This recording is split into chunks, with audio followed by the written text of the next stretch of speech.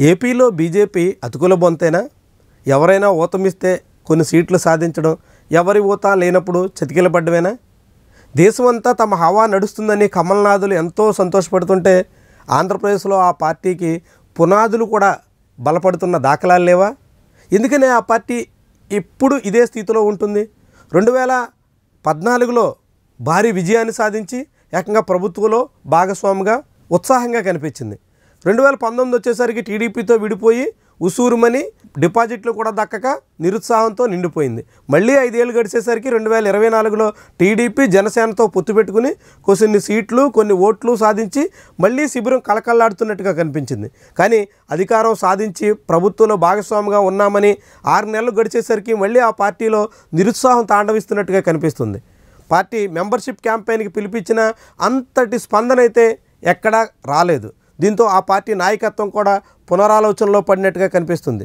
దేశవ్యాప్తంగా ఇప్పటికే బీజేపీ మీద చాలామందికి మొహం ముత్తినట్టుగా భావిస్తున్నారు. అయినప్పటికీ మోదీ విజయాలకి ఆటంకం కనిపించట్లేదు. మహారాష్ట్ర జార్ఖండ్ ఎన్నికలు ఏమవుతాయన్నది పక్కన పెడితే ఇప్పటికే జరిగిన హర్యానా లాంటి ఎన్నికల్లో సైతం బీజేపీ విజయం మోదీ శిబిరానికి ఉత్సాహాన్ని ఇస్తుంది. కానీ ఆంధ్రప్రదేశ్లో మాత్రం మోదీ అభిమానులు మోదీ అనుచరులు ఆశించినంత రీతిలో బలపడుతున్న దాఖలాలు అయితే లేవు.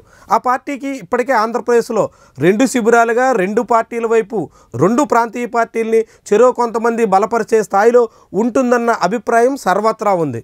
దానికి తగ్గట్టుగానే తమ పార్టీని బలోపేతం చేసుకోవడం కన్నా ఆయా అభిమానించే పార్టీల నాయకులకి ఎటువంటి ఇబ్బంది రాకుండా చూసుకోవడమే తమ కర్తవ్యం అన్నట్టుగా చాలామంది కమల్నాథులు భావిస్తారని సర్వత్రా వాదన.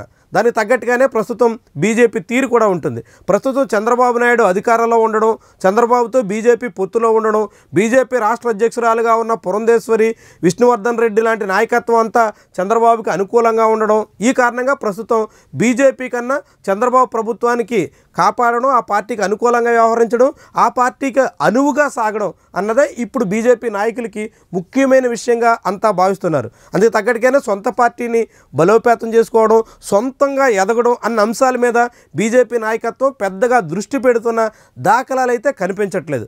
అదే సమయంలో ఒకప్పుడు చంద్రబాబు వ్యతిరేక శిబిరంగా చంద్రబాబు మీద పదే పదే మాటల దాడికి దిగిన సోము వీర్రాజు జీవీఎల్ లాంటి వాళ్ళు కూడా ప్రస్తుతం సైలెంట్ అయిపోయారు. ఇక సోము వీర్రాజు లాంటి వాళ్ళు అయితే చంద్రబాబుని పొగిడేందుకు ఆయన తనయుడు చిన్నబాబుని ప్రసన్నం చేసుకునేందుకు కూడా ప్రయత్నాలు చేస్తున్నారు.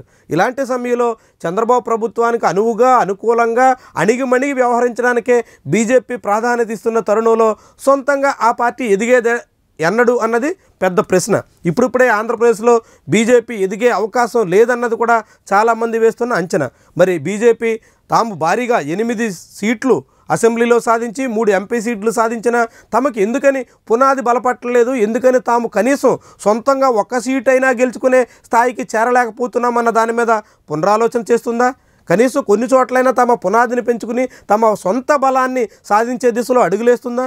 లేకుంటే ఎప్పుడూ ఎవరొకరి మీద ఆధారపడి వాళ్ళ బలం మీదనే తాము ముందుకు సాగే దిశలోనే ఉంటుందా? చూడాలి మరి ఆ పార్టీ పరిస్థితి ఎలా సాగుతుందో. వీడియో నచ్చితే లైక్ చేయండి. కామెంట్ రాయండి షేర్ చేసి సబ్స్క్రైబ్ కూడా చేయండి. Thank you for watching